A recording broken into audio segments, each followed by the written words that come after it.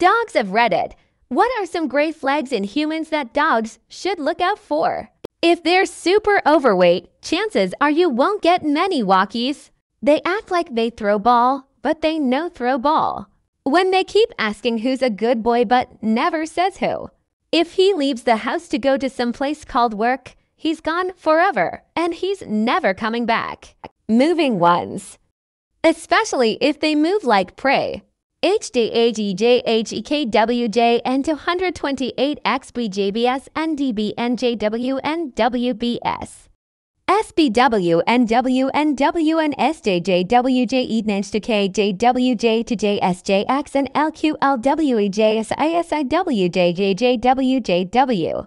Some human really think we always want to go out. Dude, I just want to sit next to the couch and watch TV with you and use your floor as my toilet. Is that so hard to understand?